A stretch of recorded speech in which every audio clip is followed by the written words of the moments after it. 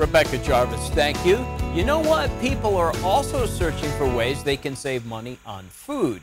One way, make your own bread at home. ABC's Megan Evans shows us how.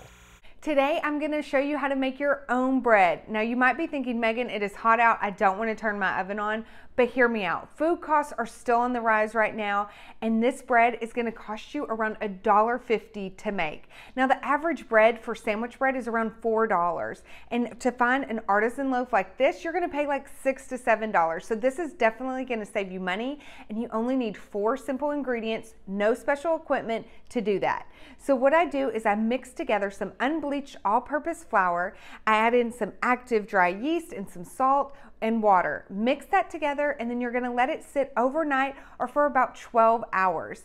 Then the next day you're gonna get the dough out, put it on a floured surface, and then you're gonna form it into a ball. You cook it in the oven and that is it. I promise you, it is so simple to do.